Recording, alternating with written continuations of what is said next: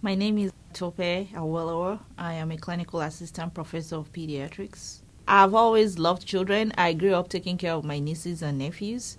It's such a wonderful experience as a pediatrician to have your own children because it, it puts you at the level of the parents as well as the pediatrician because you can relate to what parents are talking about. Like when I see parents in the clinic and they're talking to me about their kids not sleeping at night or they're not feeding well, I bring it down to my own experiences. I tell them what the recommendations are. And I also try to see from a parent standpoint to see how can we deal with this together. I'm a strong breastfeeding advocate and I am a board certified lactation consultant.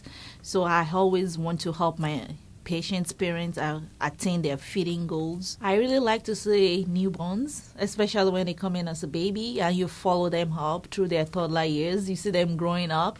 It's so rewarding. I know that the best place to go for the care of your children is a tertiary care center because you have access to all pediatrics subspecialties.